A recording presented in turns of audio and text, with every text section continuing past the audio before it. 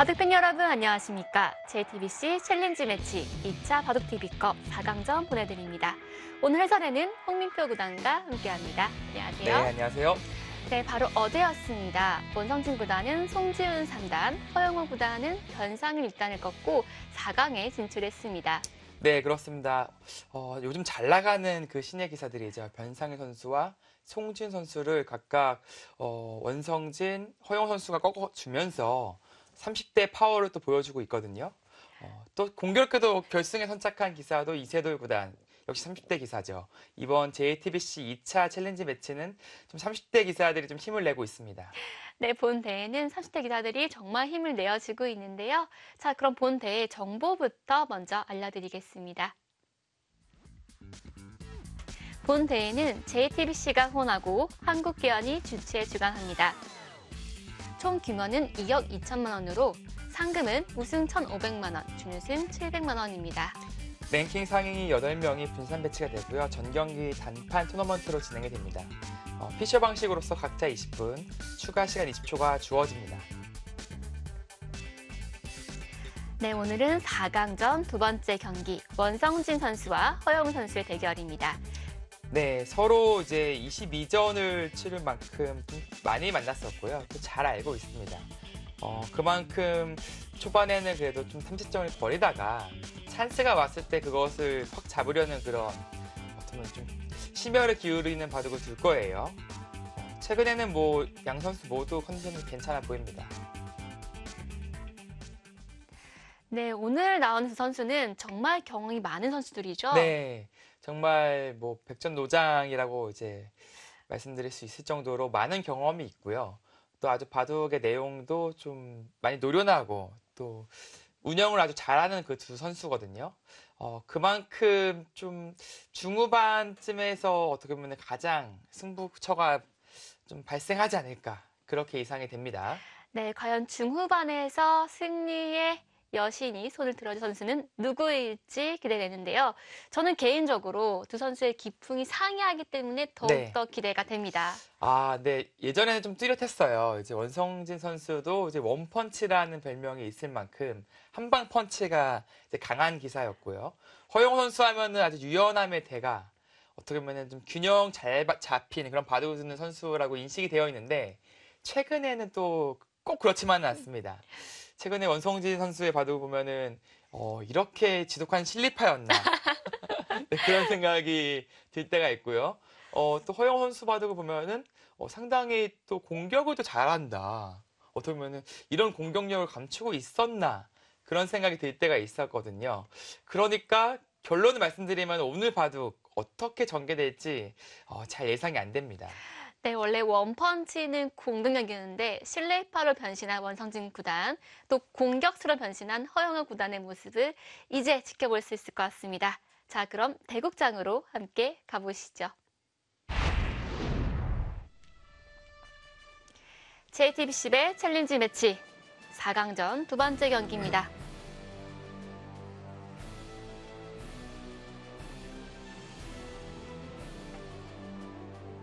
먼저 허영우 구단입니다.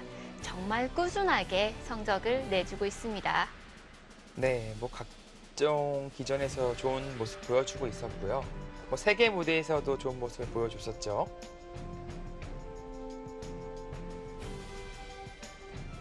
다음으로 영원한 원펀치 원성진 구단입니다. 세계대회 우승자 출신이죠. 네. 어, 이제 송아지 삼총사로 이름을 처음 알렸지만 지금은 뭐 황소 삼총사로도 묶이기도 하고 또 원성진 원펀치 그런 또 어떻게 보면 이미지도 그려놨기 때문에 어, 어느 정도 이제 좀 성공한 바둑 기사라고 볼 수 있겠습니다. 그렇습니다.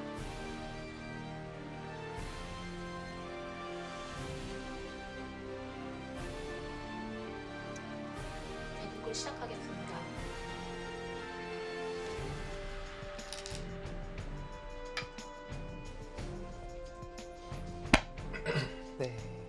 원성진 선수의 흑번으로 시작이 되었습니다. 자, 제가 원성진 구단의 바둑은 강력한 한방이 있는 바둑이라고 생각을 했는데 최근에는 어, 정말 실리를 좋아하는 기풍으로 좀 변신을 한 것 같아요. 네, 뭐 그, 그렇다고 그 한 방이 없어지진 않았고요. 예전에는 이제 어떤 기풍이었냐면은 두텁게 바둑을 운영하다가 상대방의 이제 빈틈을 파고드는 그 한방 펀치력이 아주 인상 깊은 바둑을 많이 보여줬었고요. 최근에는 이제 그 한방 보기는 좀 쉽지 않아졌어요. 대신에 이제 많은 실리를 차지하면서 오히려 좀 기가 막힌 타개 솜씨를 많이 보여주고 있습니다. 네, 정말 기풍 변신 성공한 것 같은데요. 반면에 허영호 구단은 또 뛰어난 계산력을 앞서서 네. 아주 유연하게 판을 이끌었는데 최근에는 약간 공격하는 모습도 좀 보여주고 있죠. 그렇습니다. 최근에는 좀 중앙에 대한 이해도를 좀 높인 것 같아요. 아무래도 어, 실리적인 선택보다도 좀 중앙을 의식하는 그런 선택을 많이 하거든요. 그런 면에서 봤을 때 어, 한쪽에 치우치지 않겠다라는 그런 생각이 엿보입니다. 그렇습니다. 자, 오늘 대국은 그 기사의 기풍 변신한 모습도 지켜보면 참 즐거운 관전이 될 것 같습니다. 두 기사가 이제 30대이지만 어, 20대 못지않게 열심히 또 공부를 하고 있어요. 어떻게 공부를 하고 있을까요? 어, 일단 주로 이제 대국과 복기를 많이 하고요. 그리고 또 기보도 빠짐없이 찾아보면서 어, 최근에 연구를 또 계속 하고 있고요. 그렇습니다. 특히 허영호 구단은 들린 소문에 의하면 올해 정말 마음을 먹고 바둑 연구를 하고 있다고 해요. 네. 아무래도 이제 본인이 얘기할 때도 좀 승부사의 길이 아주 많이 남아있지는 않다라고 느끼고 있는 것 같아요. 그래서 앞으로 이제 몇 년간 어, 어떻게 보면은 정상권으로 도약하기 위한 노력을 이제 기울일 생각이 있어 보였습니다. 네. 허영호 구단은 항상 10위권이었는데요. 최근에 20위권으로 다소 하락을 했습니다. 네, 뭐 최근에는 뭐 워낙 잘해주고 있는 신예 기사들이 많기 때문에 뭐 랭킹은 조금 하락할 수는 있어요. 어, 본인이 아주 못해서 하락했다기보다도 좀 치고 나가는 그런 어떻게 보면 후배 기사들이 많이 생겼다는 뜻이 되겠죠. 네. 작년에는 다소 아쉬운 성적을 거뒀습니다. 작년에는 18승 17패를 기록했거든요. 아마 이딴 일의 그 최악의 승률이지 않을까. 50%는 비록 넘겼지만 항상 60%, 70%대의 승률을 보여줬던 기사거든요. 그런 면에서 봤을 때는 좀 아쉬움이 남는 한 해였을 겁니다. 네. 원성진 구단도 군 제대 이후에 뚜렷한 성적이 안 나왔고 작년에는 26승 18패를 거뒀습니다. 네. 뭐 아무래도 작년에는 이제 기전 숫자가 좀 많이 축소가 돼서 어, 대국 기회가 좀 많이 없었어요. 그래서 어, 그, 그 전의 기록보다도 다소 이제 승수가 좀 적었죠. 음, 하지만 올해는 벌써 두 선수가 이제 원성진 선수가 8승, 허용 선수가 11승이거든요. 네.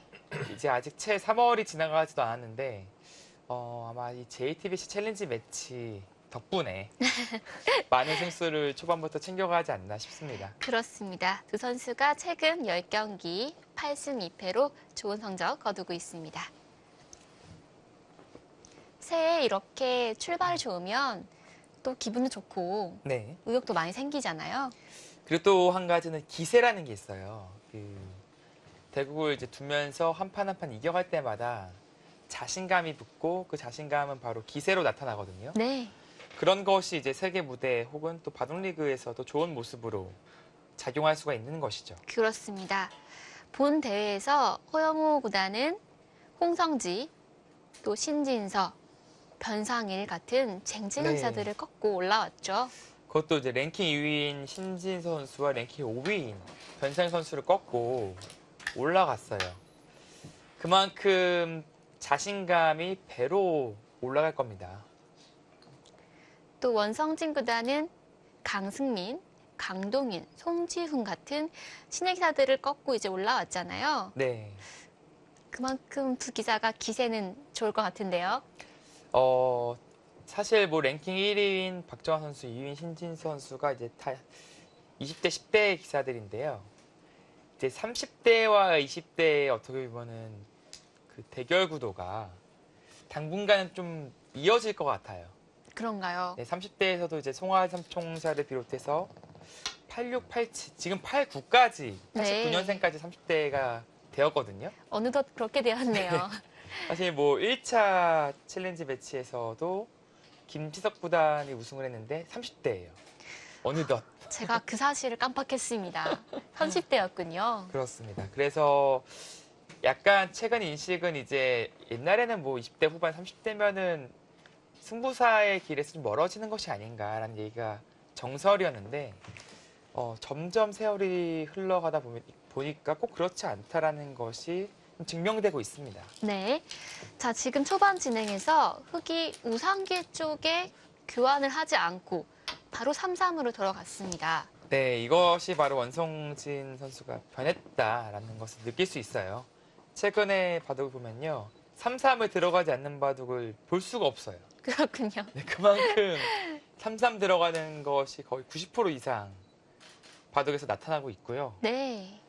아무래도 그 3-3에 대한 연구는 착실하게 되어 있을 겁니다. 네. 자, 저는 사실 우상기 쪽이에요. 흑이 어느 쪽이든 막지 않고 진행을 시키고 있는데, 아, 이게 뭔가 마무리가 된 것 같지가 않아서 네. 약간 찝찝하거든요. 아, 그렇죠. 경우에 따라서 이쪽 변화를 보고 이쪽으로 막을지 막고 이렇게 이렇게 처리를 해서 이것은 우변을 지키는 수법이죠. 그것이 아니라면은 상변에 더 힘을 실어주기 위해서는 이렇게 차단을 하겠다. 그러니까 먼저 이쪽 변화를 구하고 나서 후 선택을 하겠다. 이제 그런 생각이 엿보입니다. 그렇군요. 어느 쪽을 막을지 선택권을 내가 갖고 있겠다라는 네. 뜻이군요. 그렇습니다. 다만 백도 이제 선수를 뽑게 되면은 뭐 밀고 나서 이런 식으로 건너가면은 뒤에 실리도 착실하게 차지했고요. 연결과 동시에 나중에는 이, 이쪽 침입을 또 노릴 수가 있어요. 네. 그래서 백도 이제 선수를 뽑기 위한 생각을 할 겁니다. 물론 당장 들 수도 있고요. 자, 지금 좌상기 쪽은 백이 손을 뺀다면 어떤 일이 생길까요? 어, 뭐 크게 탈라하진 않습니다. 크게 뭐 이런 식으로 쉽게 정리를 할 수도 있고요. 물론 이제 치받는 교환은 생략한 채 이런 식으로 둘 수도 있습니다. 혹시 흑이 젖히는 수는 안 되나요? 어, 이것도 가능해요. 주의 배석을 봐야 되는데 이런 싸움이 될 가능성이 높거든요. 이제 이쪽이 이제 만약에 차단이 돼 있어서 좀 흑에게 힘을 실어줄 수 있다라고 본다면 이런 전투도 생각해 볼 수 있습니다. 어, 막았어요. 그렇다면 바로 좌상기의 접전을 이어가겠다라는 그런 선택을 한 겁니다. 흑은 치받겠죠? 네, 치받는 것과 느는 것, 뭐 둘 다 있는데요. 거의 치받는 선택을 해요. 물론 알파고는 이제 느는 수법을 좀 암시를 했었는데, 인간의 바둑에서는 사실 잘 등장하지 않습니다. 거길 늘기에는 뭔가 기세에서 밀린 느낌이 네, 들거든요. 그렇죠. 뭔가 내키지가 않죠. 자, 여기까지는 많이 본 모양인데요. 지금 이제 흑이 어떻게 하면 좋을까요? 네, 뭐 보통 이제 젖혀 있고요. 이제 백의 선택에 따라서 이쪽을 지키면 급소 자리를 가고 뭐 이쪽을 날짜 가면은 뭐 끊는다든지 이런 진행을 시킵니다. 네, 역시 젖혀 있고요. 네, 선택권은 일단 백 쪽에게 있어요. 싸울 것인지 아니면 타협을 할 것인지요. 자, 여기서 백이 호구를 친다면 전투를 하겠다는 뜻이군요. 그렇습니다. 이 호구는 흙이 이렇게 잊고 진행시키는 것은 이것은 아니에요. 이건 정석이 아- 아닙니다. 백이 좋죠. 네. 그래서 반대로 이곳을 이제 짚어가면서 끊어가면은 이제 이쪽 하나 끊어두고요. 이런 식으로 돌려치는 그림을 그려요. 아, 최근에 제가 이 연구를 많이 한다는 건 알고 있는데 네. 너무 어려워서 네. 결론을 내기가 쉽지 않겠어요. 일단 일차적으로 이 수법을 두기 위해서는 흑이 축이 일단 유리해야 되고요. 뭐 바로 잡히면 이제 싱거운 거니까요. 아, 그 축이 유리해야 되는 네, 거군요. 이게 나갈 수가 있어야 됩니다. 네. 만약에 뭐 이렇게 두고 빵 따내을 당하면 이건 너무 두터워요. 아, 그래서 백 입장에선 축이 불리하니까 이렇게 두고 뭐 빵 따냄보다는 뭐 훌륭하진 않지만 그래도 두텁게 처리할 수가 있어요. 자, 허영호 선수 여기서 이 장면에서 어떤 선택을 할까요? 예전 같았으면은 타협을 했을 것 같은데. 뭐 쉽게 처리한다고 해서 잘못된 선택은 아- 아닙니다. 네.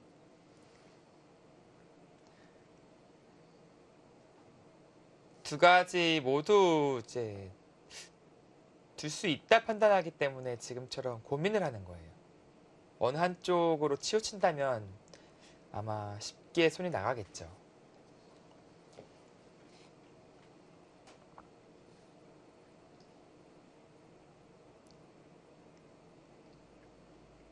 자, 두 기사는 각각 삼성화재배와 또 인연이 있습니다. 네, 그렇습니다. 원성진 선수는 우승을 했었고 허영호 선수는 준우승을 했었죠. 공교롭게도 결승 상대가 두 기사 모두 구리 구단이었는데요. 그렇습니다. 아마 그때 당시가 이제 구리 구단의 전성기 때죠. 어, 세계 무대에서도 아주 좋은 모습을 보여주고 있었고 또 특히 이세돌 구단의 라이벌로서 어, 어떻게 보면은 상당히 바둑 팬들에게 큰 즐거움을 선사해 줬었거든요. 네. 저도 그때 삼성화재배였는데요. 원성진 구단이 생애 처음으로 또 세계대 우승컵 들어올렸을 때 네. 참 기뻤던 기억이 납니다. 아, 또 친구잖아요, 또. 그렇죠. 동갑내기 또 친구가 어, 물론 이제 그 또래 기사들끼리 또 많이 친해서 그런 또 기쁨을 또 같이 나누기도 하- 합니다. 개인적으로 이제 제 동갑내기 기사들이 성적이 굉장히 좋은 편이었어요. 네, 그렇죠. 특히 원성진 구단도 있지만 최철환 구단, 박영훈 구단 이런 기사들이 항상 함께 어울리면서 같이 공부를 했거든요. 네, 그런데 두 기사가 이제 원성진 구단도 약간 더 세계대 무대에서 약간 이름을 빨리 알렸잖아요. 그렇습니다. 항상 약간은 뒤에서 따라간 느낌이었는데 원성진 구단이 그때 우승을 드디어 차지했을 때 어, 기쁘더라고요. 네. 그래서 항상 꾸준하게 정진을 하고 있고 또 대기 만, 만성형의 또 기질이 있잖아요. 그렇죠. 박영훈 선수도 아직까지도 공모벌레로 열심히 노력을 또 하고 있어요. 그렇죠. 항상 제가 한창 공부를 할 때 저녁에 이제 뭐 하나 싶어 연락을 하면 당연한 걸 물어라고 네. 했거든요. 웃으면서 네. 지금 뭐해? 그러면 당연한 걸 묻고 그래. 네. 당연히 공부하고 있다 이거죠. 어, 근데 그러면서 봤을 때는 차체란 선수는 정말 정말 천재과예요, 사실. 네, 저는 사실 같은 연구실에 있으면서 꽤 오래 같이 있었는데 기고나 보는 모습을 본 적이 손에 꼽을만 하거든요. 네, 이렇게 좀처럼 공부하는 모습을 잘 안 보여주죠. 어, 물론 그런데 좀 신기하게도 어, 어떻게 보면은 바둑을 한 판에 똑같이 든다고 치면은 그것에 대해서 얻어가는 것이 남들보다 뭐 두 배, 세 배 이상으로 얻어가는 느낌이 들어요. 음, 똑같은 한 판을 두는데도요. 네. 같은 시간을 소비하지만 얻어가는 게 훨씬 많았군요. 네, 그런 느낌을 많이 받았습니다. 네, 자, 대기면 선홍의 원성진 구단. 자, 결국 저상기는 타협을 했네요. 네, 뭐 그것으로도 불만이 없어 보이고요. 차후에 이 자리가 아주 좋은 자리예요. 백이 든다면 이 상변이 아주 커지고 동시에 흑의 진영 좀 얇아지죠. 침투가 좀 신경 쓰여집니다. 반대로 흑이 가면은 흑의 모양이 상당히 좋아지고 다음에 또 붙이는 수를 엿볼 수가 있어요. 자연스럽게 삭감도 됐고요. 과연 이 자리를 과연 누가 차지하느냐? 네. 이 자리, 이 자리. 그것도 아주 중요한 포인트가 되겠습니다. 두 기사가 서로 호시탐탐 그 자리를 노리고 있겠네요. 네, 대세점이라고 볼 수 있겠죠. 일단 좌하기 쪽에 흙이 걸쳐 갔고요. 여기서 백은 협공해야 될까요? 아니면 그냥 받아야 될까요? 아, 뭔가 받고 싶은 기분, 글쎄요. 받는 것도 가능하긴 하겠네요. 왜냐면 이쪽이 거의 막혀 있는 현- 상태니까 거의 이런 형태로 봐야 되거든요. 근데 다만 이제 흙 입장에서도 좀 편하죠. 뭐 전개를 하면서 양쪽 날개를 펼쳤기 때문에 어, 뭔가 저라면 좀 협공을 생각해보고 싶어요. 이쪽에 백돌이 가야지 차후에 침투도 노리고 어, 바로 가네요. 날일자로 갔습니다. 네, 이것은 역시 축이 유리하다는 거죠. 붙이나면 늘겠다는 생각은 아닙니다. 아, 이것은 좋지 않고요. 네. 왜냐면 나오는 것들 다 흙을 집으로 만들어주는 악수가 되기 때문에 이런 식도 뭐 지켜낼 수 있고 붙이는 것도 엄청 악수예요. 상대방의 집을 굳혀주는 스토리죠. 네. 근데 지금은 이제 알파고 수법이죠. 이렇게 짚고 나서 이게 축이 불리하면 젖혀서 좀 곤란한 것인데 지금 백이 축이 유리하죠. 그렇군요. 그래서 뭐 이런 식으로 웅크려서 끊으려고 할 때 붙여가겠다. 이것이 허용호 선수의 계획입니다. 네.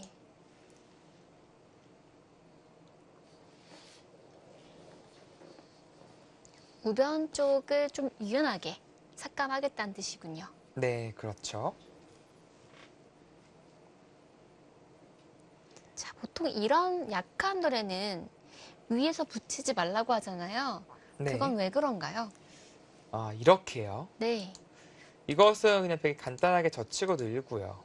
호구만 치더라도 자세가 아주 괜찮게 자리를 잡았어요. 음, 거의 이제 살아있는 형태를 취했고 반대로 흙은 좀 침투 그리고 이쪽도 좀 허전해요. 백돌이 가게 되면은 좀 자랑스럽진 않습니다. 흙의 형태가요. 약한 돌에 붙이면 그 돌이 흐름을 타면서 네. 안정을 쉽게 취하기 때문에 붙이지 말라는 거네요. 그렇습니다. 그리고 또 뿌리를 쉽게 내리게 만들어주면 안 돼요. 아까 같은 경우 이제 흙이 축이 유리할 때 이런 식의 행만은 백이 이렇게 두더라도 살아있는 형태가 아- 아니잖아요. 네. 뿌리를 좀 내려도 안형이 좀 좁아서 이것은 흙이 허용할 수 있는 범위 안에 있습니다. 다만 이제 물론 붙이는 것은 이제 짚는 것이 싫었다는 거고요. 네.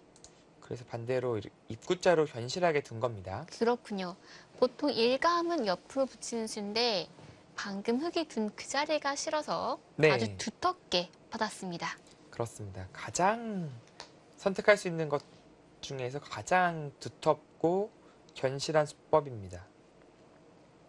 원성진 구단이 힘을 비축했다가 한 번에 터트리는 그 폭발력이 정말 대단했거든요. 네, 뭐 여전히 대단해요. 이제 그 전에 바둑을 본다면 힘과 전투로서의 바둑을 이끌었다면 지금은 물론 그 힘과 전투를 피하진 않습니다. 다만 이제 운영의 묘를 좀 깨달았다고 해야 될까요? 아, 어, 그것에 대한 재미를 좀 요즘에 느꼈는지 네. 어, 특히 또 장기전을 두려워하지 않게 됐어요. 그렇군요. 뭔가 두 기사 모두 끊임없이 발전하고 있다라는 생각이 듭니다. 네. 자, 이제 봤죠? 이제 똑같이 전기했을 때, 뭐, 이 교환은 뭐, 득이다. 그런 뜻이죠. 이 흑돌이 여기 와서, 오고 나서 걸치면요. 이것은 이제 싸웠을 때, 전장이 달라져요. 아, 흑돌이 있는 만큼 백이 더 불리하겠죠. 그렇네요. 그래서 먼저 교환을 시켜두고 나서 전개하면 그때 이렇게 달려가겠다. 어떻게 보면 쉽게 살 수 있죠. 네. 아, 오늘 홍미표 구단 해설을 들으니까 포석 이론이 쏙쏙 들어옵니다. 저도 한번 이렇게 두고 싶은 생각이 들어요. 아, 충분히 드실 수 있잖아요. 그 전에는 의미를 모르고 따라했는데 어, 이제는 설명까지 할 수 있을 것 같은 생각이 아. 듭니다. 자, 지금 공비가 되고 있는데요. 여기서 흙이 또 하변을 벌리지 않자니 너무 황하잖아요. 네, 제가 한- 한 칸으로 받은 게 날짜로 받았으면은 이렇게 붙일 수도 있었거든요. 네. 한 칸으로 받은 것은 어, 붙인다면 이제 전투를 할 때 조금이라도 더 압박감을 심어주겠다라는 아. 뜻이에요. 그래서 한 칸으로 받은 거군요. 한마디로 이제 하변 받아라 이제 그렇게 강제를 시키겠다는 것이죠. 네, 지금 하변이 횡하거든요. 어디든 둬야 될 것 같은데, 네, 맛보기라고 느끼는 겁니다. 뭐 이렇게나 혹은 이렇게 받는다면 이쪽으로 달리겠다. 이제 그런 생각입니다. 네. 자, 역시 하변 쪽 벌려두었고요. 자, 다음 백이 둘 차례인데, 우하기 쪽에 한 점이 지금 홀로 외롭게 있기 때문에 네. 어떻게든 좀 친구를 만들어줘야 될 것 같은데, 어떻게 두는 게 좋을까요? 뭐 가장 쉽게 둔다면 날일자예요. 뭐 이런 식으로 둔다면 뭐 쉽게 안에서 살 수 있죠. 그리고 이제 붙여서까지 오면은 이제 일단 응수 타지는 의미가 있는 겁니다. 나중에 젖히는 것도 때에 따라서 고려할 수 있으니까요. 네. 이러고 나서 뭐 붙인다든지 할 수 있습니다. 백이 귀로 가는 게 사실은 어, 바둑 팬 분들께서는 좁으니까 귀가 네네. 손이 잘 안 가거든요. 물론 이제 초반에 말씀드린 이 자리 지금 욕심 나긴 해요. 과연 이쪽 붙였을 때 이 가치 판단이 쉽진 않아요. 그 정도로 서로 엄청 좋은 자리이기 때문에 아마 허영호 선수는 이것에 대한 지금 계산을 하고 있지 않을까 네, 생각이 듭니다. 네. 자, 두고 싶은 자리가 많습니다. 과연 허영호 구단은 어느 쪽을 선택할까요?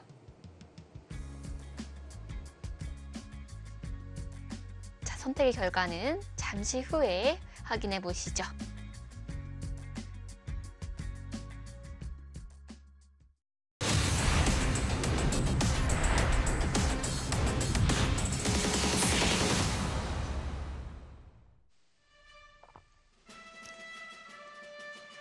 JTBC 챌린지 매치 4강 두 번째 경기입니다.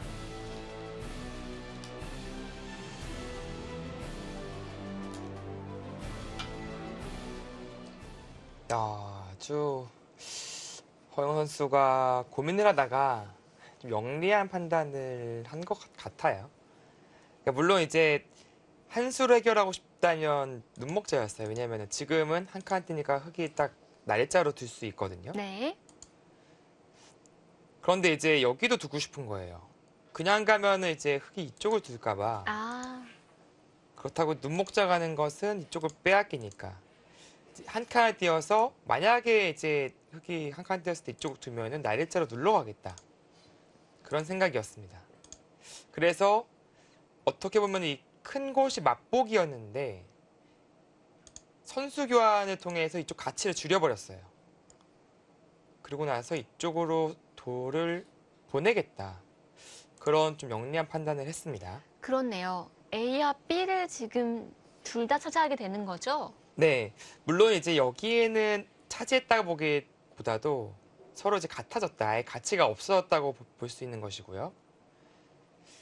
여기는 가치가 그대로 남아 있죠. 아, 물론 흙도 이제 이제는 이쪽은 일단락이 되었으니까 이쪽을 계속해서 압박을 한다든지 반대로 뭐 이쪽으로 눈을 돌릴 수도 있긴 합니다.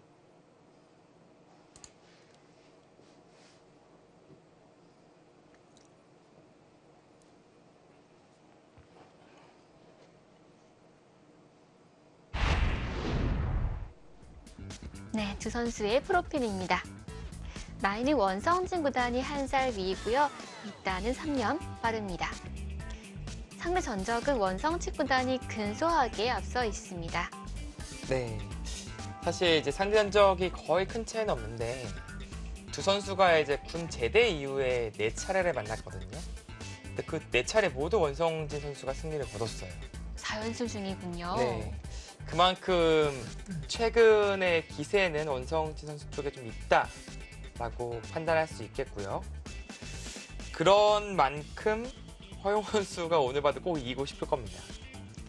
자, 객관적인 지표로는 원성진 구단이 다소 앞서 있는 것은 사실이나 최근의 기세로 보면 허영우 구단도 밀릴 것이 없거든요. 네, 그렇습니다. 올 시즌 11승 3패. 뭐 최근 10경기도 뭐 괜찮고요.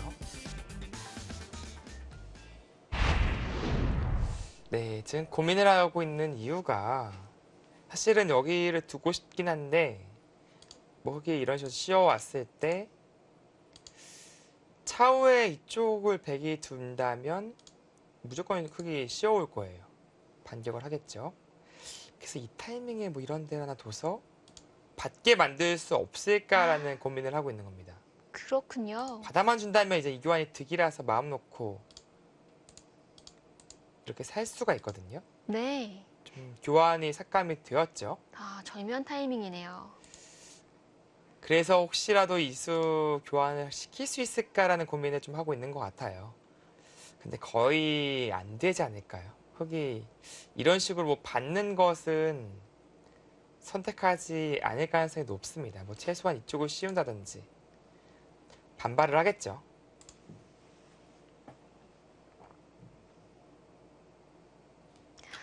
네, 지금 백이 고민하고 있는데요. 중앙전이기 때문에 네. 중앙에 어디든 도는지 좀 어려운 것 같습니다. 그렇습니다. 지금 역시 포석 단계가 항상 어려워요. 인공지능과의 그 격차도 사실 그 포석에 있거든요. 그래서 선수들이 요즘에 포석 공부도 전보다 더 열심히 하고 있고 또 고민도 많이 하고 있습니다. 지금도 이제 일감이라고 한다면 뭐 보이는 자리가 있겠지만 조금 더 깊 게 가고 싶은 거예요. 수익이가. 오, 거기까지 갔어요. 어, 적극적인 수인데요. 네, 그것은 흙이 한가하게 이쪽으로 뭐 손 빼거나 하지는 못하게 하겠다. 이거는 건너붙이거든요. 단수를 모을 수는 있는데 이런 식으로 된다면 백의 세력권이 어마어마해지죠. 그렇네요. 네, 이쪽이 상당히 커집니다. 자, 아주 묘한 곳을 찔러 들어갔습니다. 흑이에게 응수하기 까다로운 자리인데요. 네, 뭐 어떻게 봤던지 여기를 이렇게 받아도 밀고 들어가면 막을 수가 없어요. 뭐 이런 식으로 돌파를 당하면 흙이 망하는 형태거든요. 네. 흙은 받는다면 이것인데 당했어요. 아무래도요. 차후에 이수도 남아 있고 이쪽으로 그냥 살기만 하더라도 이교환은 백이 엄청난 이득입니다. 네. 그러니까 지금 흑에게 받기 가장 까다로운 자리를 골라서 들어간 거죠. 네, 어, 좀 껄끄러워 보입니다. 자, 그렇다면 흑은 아래쪽은 받기 힘드니까 네, 중앙 쪽으로 뭐 입구자 정도 두면 어떨까요? 이렇게요. 네. 뭐 이런 것도 이제 붙이는 것을 좀 예방한 거죠. 지금은 이제 붙여 끊더라도 단수 치면은 아까와 같이 돌려치기는 안 되거든요. 뭐 생각해 볼 수 있는 행마입니다. 백도 뭐 이제 붙여서 자연스럽게 나온다면은 이쪽 세력권은 좀 지워지는 의미는 있겠습니다. 네. 일감은 뭔가 뛰는 수였거든요, 사실은. 아, 이쪽을 띄어서 자체로 좀 두고 싶은 자리니까요. 근데 좀 이 붙이는 수에 대한 변화도 좀 생각해 봐야 되는 것이고요. 선뜻 손이 나오기가 어려운 장면이네요. 허영 구단이 생각을 충분히 한 뒤에 든 수거든요. 네. 고심의 일착이었습니다. 자, 이런 들 왔을 때 약간 사실 화가 날 수도 있거든요. 내가 뭐하는 크게 키웠는데 네. 그 사이로 지금 비집고 들어왔어요. 네. 잡으러 가면 안 됩니까? 어, 잡으러 나를자로 씌워서요. 이런 식으로요? 네. 예, 뭐 탈출로는 이제 마련을 해 두었죠. 이제 영화관가도 이제 비상 탈출로 미리 확인하잖아요. 음, 거, 거기서 확인하라고도 나오고요. 지금의 이 침투는 그 탈출로 정도는 이미 확보하고 나서 들어간 침투입니다. 네, 섣부른 공격은 또 피해를 볼 수 있기 때문에. 아, 약간 지금 얼굴이 빨개진 것 같은 건 착각일까요? 권성치 어, 구단이 당황했나요? 약간 당한 것 같은데요. 어, 그만큼 좀 송곳 같은 이 침투도 아니고 삭감도 아니고 아주 교묘한 자리에 돌이 위치해 있어요. 자, 원성진 구단이 시계를 한번 힐끗 보고 네. 판을 잡거든요. 그렇습니다. 생각을 좀 하겠다는 뜻이죠. 아무래도 이 피셔 방식은 어려운 장면에서 시간을 몰아쓸 수 있는 그동안 적금 부었던 거 한 번에 쓸 수 있는 그런 또 매력이 있거든요. 그래서 이 장면에서 지금 12분이 남아 있는데 그동안 시간 안배는 잘했습니다. 그래서 좀 많은 시간 한 2, 3분 정도는 좀 사용하지 않을까 그렇게 예상이 되네요. 네. 자, 그게 다음 수가 쉽지가 않습니다. 어, 요즘에는 뭐 이런 좀 창의적인 수법들도 아주 잘 나오고 있어요. 역시 알파고의 영향이 있었고요. 이제 선수들이 그리는 그림에 이제 배제는 거의 없어졌습니다. 음, 누군가 그런 말을 한 것 같아요. 알파고가 인간에게 준 가장 큰 선물은 고정관념을 없애는 것이 아닌가. 네. 그런 얘기를 들었거든요. 그렇죠. 아무래도 그 전에는 이제 정석이라는 것도 있었고 정석이 사실은 지금도 없어진 건 아닙니다. 정석의 느낌이 뭐냐면은 이런 장면에서 항상 이렇게 돼야 된다. 음. 그런 느낌이었거든요. 그런데 이제 그 틀은 이제 어느 정도 많이 느슨해졌어요. 물론 이제 정형화되어 있는 그런 형태 그리고 어느 정도 그 전에 있었던 그 틀은 남아있긴 합니다만 언제든지 그 틀을 부실 수 있는 의식이 생긴 것이죠. 네. 자, 지금 자유로운 한수가 바둑판에 등장을 했습니다. 중앙 쪽에 떡칼이 놓여져 있는데 네. 어, 이런 수가 상당히 처음 보는 수지만 데뷔책이 막상 쉽게 보이지가 않네요. 어, 좀 보면 볼수록 매력이 느껴지는 한 수고요. 어, 마치 축구로 치면은 이제 적진을 갈라버리는 그 수루 패스 느낌. 한마디로 어, 그 교묘하게 잘 보이지 않는 그 틈을 파고들고 있는 그런 느낌이 들- 듭니다. 네, 방금 준수는 일단 선악을 떠나서 멋진 수로 보여지는데 네. 자, 원성지 구단이 여기서 어떤 수를 생각하고 있을지 궁금하네요. 어, 생각보다 고민이 더 길어지네요. 이 한 수에 어떻게 보면 딱 맥이 막힌 듯한 기가 막힌 듯한 느낌이 들었나 봅니다. 설마 귀가 빨개진 건 아니겠죠? 예전에, 자, 드디어 아, 둘까 하다가 머리를 만지네요. 네. 예전에 뭐 이적의 묘수 뭐 그런 일화 중에서도 이제 그수를 당하고 바로 귀가 빨개졌다 그런 네. 얘기도 있잖아요. 너무 놀라운 수라서 귀가 빨개진 수를 이적수라고 부르죠. 네. 아, 아. 그렇게밖에 못 지켜요. 아, 이렇게는 뭔가 좀 당한 느낌이 드는데. 그쵸? 뭔가 돌의 효율성이 떨어지는 느낌이 드는데 어쩔 수 없나요? 아, 그만큼 아, 지금 2타 나오려고 합니다. 2타. 혹시 이수 가능하면은 이거 혹시- 완전히 그거 저는 생각만 했는데 보통 사모님 혼난 수거든요. 어, 이거 괜찮을까요? 아, 여기까지 는 안 가네요. 이수 가능해서 만약에 여기 눌려버리면 봐도 끝나는 거예요. 물론 이제 이- 음, 네. 이렇게 뒀으면 무조건 나와 끊는 건데 그렇게까지는 진행시키지 않네요. 이 정도로 어떻게 보면은 이쪽을 뛸 수밖에 없어요 지금은요. 당하면은 흙이 바둑이 낙이 없거든요. 뛴 다음에 여기 끊어서 이제 활용을 하겠다라는 뜻이에요. 아, 끝낸 것까지 가능하나요? 네, 끊는 것이 뭐 전투를 하기 위한 끊음이 아니라 네.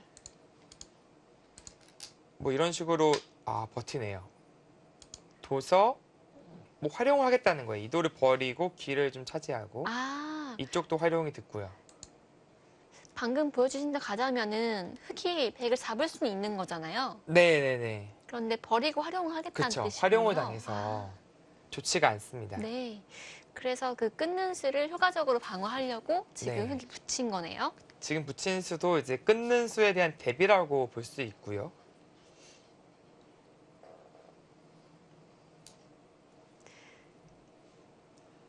자, 여기 아. 다음 수가 또 어렵네요. 네, 일단 흑도 원성진 선수도 어, 깐깐하게 버텨가고 있습니다. 자, 지금 붙였는데요. 일단 중앙 쪽에 한 칸 쉬운 수가 일감으로 떠오르거든요. 네, 뭐 이렇게 씌워갈 수 있고요. 지금 뭐 붙여서 두는 것도 가능해 보입니다. 조금 더 타이트하게 압박을 하는 것이죠.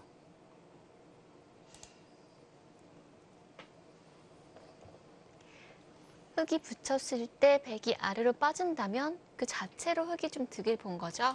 네, 이 교환이 듣는 순간에 아- 백이 좀 탄력은 좀 적어졌어요. 이 교환이 없으면 날일자만 두더라도 거의 살아있는 형태였는데 그때 붙이면 여기 늘어주지 않죠. 바로 맞겠죠. 이만큼 당한 느낌이 있고요. 아마 늘어주지는 않을 겁니다. 두더라도 좀 탄력적으로 입구자로 둔다든지 하겠죠.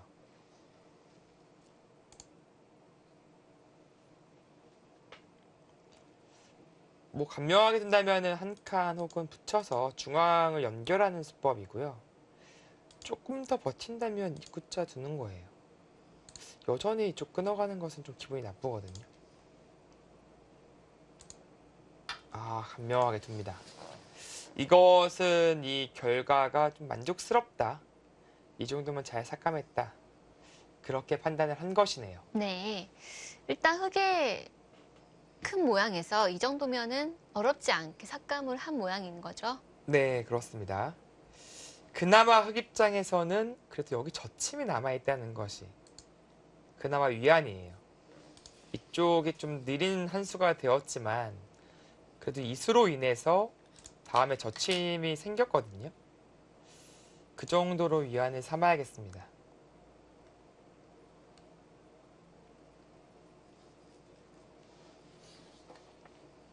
자, 지금 흙은 변 쪽으로 한 칸 둬서 연결을 해야 할까요? 네, 뭐 마음 같아선 젖히고 싶은데 2단 젖히고 여길 끊었을 때가 뭐 늘어서 싸울 수가 없어요. 어느 쪽으로 단수 치더라도 축이죠. 그렇네요. 네, 그래서 지금 건들면 오히려 손해 보는 거예요. 그래서 그냥 받아둔 것이고요. 뭐 백도 이 정도 날일자도 괜찮습니다. 아니면 여기를 하나 더 물어보는 것도 있어요. 받아주면은 그때 여기를 넣는 겁니다. 이 자체로 이 젖힘을 예방했죠. 그리고 이 돌이 오면서 치받고 끊는 노림이 생겨요. 아, 그쪽에 또 약점이 생기네요. 네. 그래서 조금 더 이득을 보기 위해서 욕심낸다면 이쪽 갈 수도 있습니다. 어, 뭔가 상대방을 정말 기분 나쁘게 만든 자리네요. 네. 아, 지금은 근데 뭐 이수, 이수만 보더라도 허영호 선수는 어, 이 정도면 좀 잘 타개가 된 것이 아니냐 네. 그런 생각을 하고 있는 거예요. 사실 이게 허영호 스타일이거든요. 네, 아주 유연하고요. 어, 워낙 또 형세 판단이 뛰어나고 어, 반면 운영을 너무 잘해서 네. 어, 상대방 입장에서는 참 초조해져. 이런 식으로 두면은 아, 계산서 나온 건가 혹시? 사실 일견 보기엔 약간 느슨해 보이기도 하거든요. 네, 뭐 조금 더 욕심 내고 싶기도 한데 그래도 지금 여전히 여긴 남아 있는 거예요. 만약에 바둑이 이런 식으로 진행이 되어 있다? 그러면 이쪽 상변 모양이 너무 좋아요, 백이. 반면에 흑은 뭐 확정가이긴 합니다만 큰 집이 없어요. 자, 이제 흙이 둘 차례인데요. 좌변 쪽에 흙이 둔다면 어디를 두어야 될까요?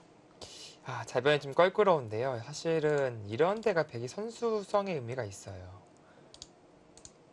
이렇게 나오는 수가 있거든요. 아, 그쪽을 또 살리는 수가 있네요. 다만 이제 그나마 이제 이런 교환이 돼 있는 바둑이 있는데 이런 교환이 없기 때문에 이렇게 나오는 것의 이제 강도는 조금 줄어요. 왜냐면은 나오면 원래는 여기까지 선수가 들어야 되거든요. 근데 지금 같은 경우에는 뭐 이런 식으로 백이 나왔을 때 흙이 있는 것이 선수라서 이게 끊는 수가 생기죠.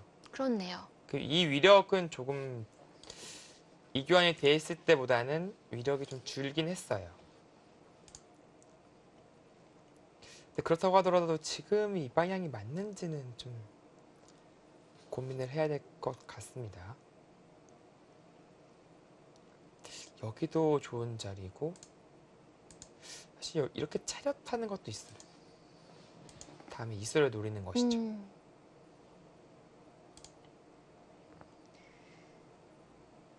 원성치 구단은 누럭파인가요? 아니면은 기재파인가요? 최철한 구단은 기재파인 게 확실한데요. 일단은 뭐, 이 바둑뿐만 아니라 평소에도 뭔가를 하는 걸 보면요. 두뇌 자체가 아주 좀 스마트해요. 되게 아, 뛰어납니다. 어떤 식으로 뛰어난가요? 그러니까 뭐 예를 들어서 이제 뭐그 맨사 퀴즈 같은 네. 그런 퀴즈- 퀴즈들 많잖아요. 뭐 김지석 구단이 뭐 이제 그리고 최정 구단이 이제 문제적 남자 나가서 이제 뭐 거기서 좀 문제를 풀거나 하는 아 그러고 보니까 또 옆에 계신 지니어스 이런 이런 말도 되는지 모르겠는데 방송에서 네. 그런 어떻게 보면 문제 풀이 능력이 상당히 뛰어나더라고요.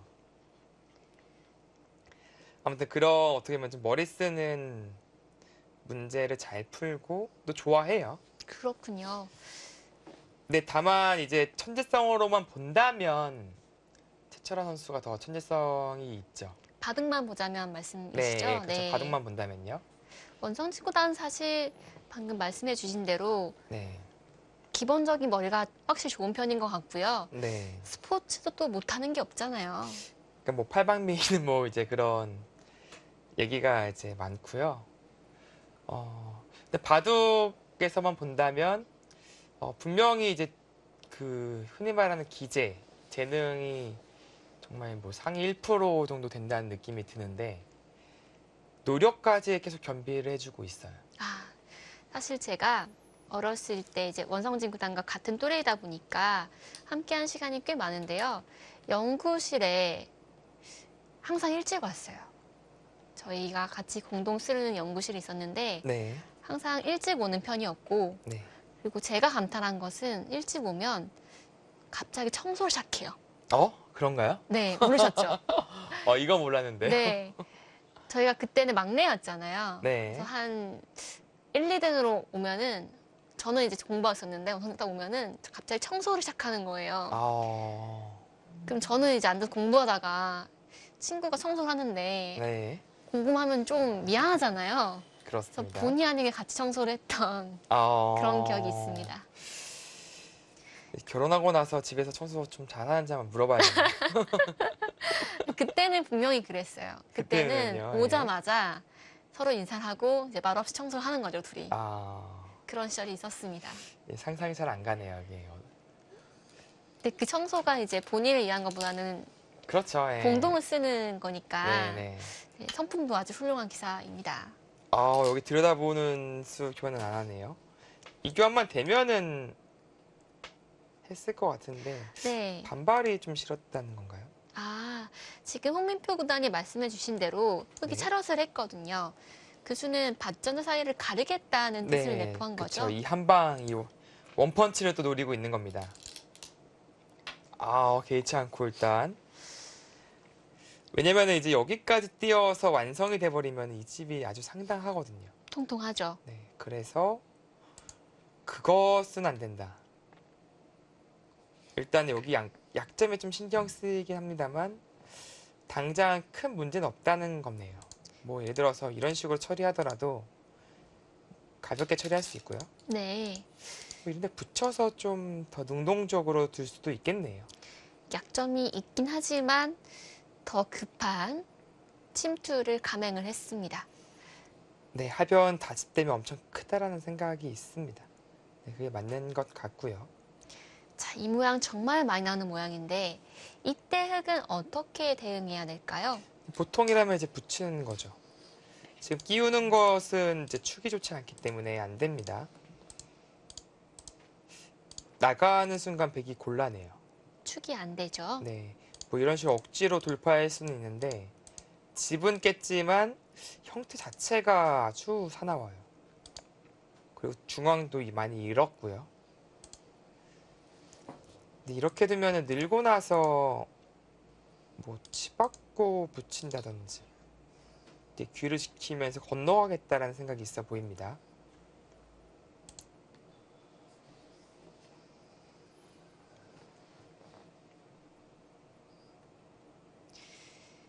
입구자로 씌우는 것은 어떨까요? 어, 이수도 생각해 볼 수 있어요. 일단 붙이고 나서 이 젖히는 교환을 하는 순간에 너무 이제 악수 교환이 돼서 이건 배기 한 점 버리고도 괜찮습니다. 여기까지 잡아낼 수 있으니까요. 그런데 이제 그럼 늘어야 되거든요. 나와 끊고 나서 이것을 이제 축이기 때문에 늘어야 되는데 막히는 순간에 이게 잡을 수는 있어요. 선수로 막히고 중앙이 이제 백이 가져가는 음, 그런 바둑이 되거든요. 네. 주옥이 모양이 아주 아, 좋죠. 너무 좋네요. 이것은 사석 작전에 걸린 형태가 되겠습니다.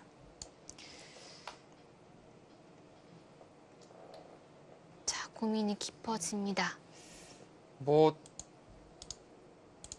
이럴 때 너무 과감한가요? 패도 생각해 볼 수는 있습니다. 다만 근데 패감이 문제네요. 이 엄청난 패거든요. 이쪽은 의외로 가벼워서 두 수로 전부를 제압하기는 힘듭니다. 그렇다는 것은 흑이 전체적으로 이 패는 부담스럽네요.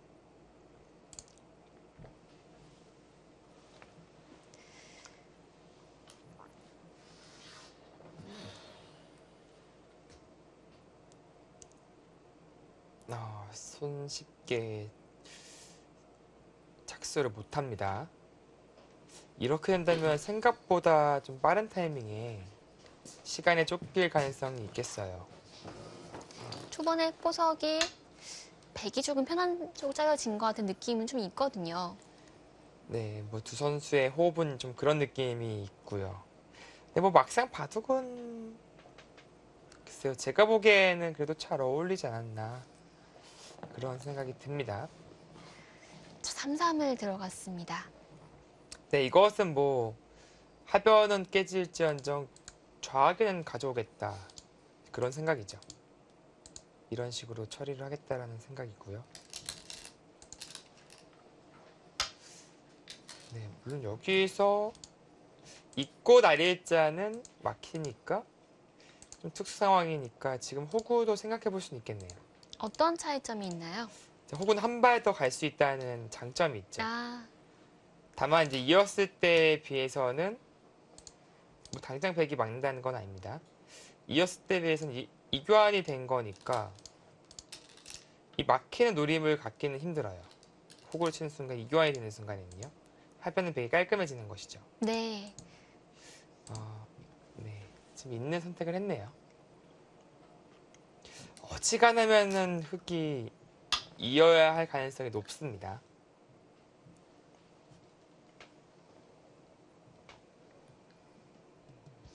네, 이제 바둑은 중반전이 막 시작이 되었습니다.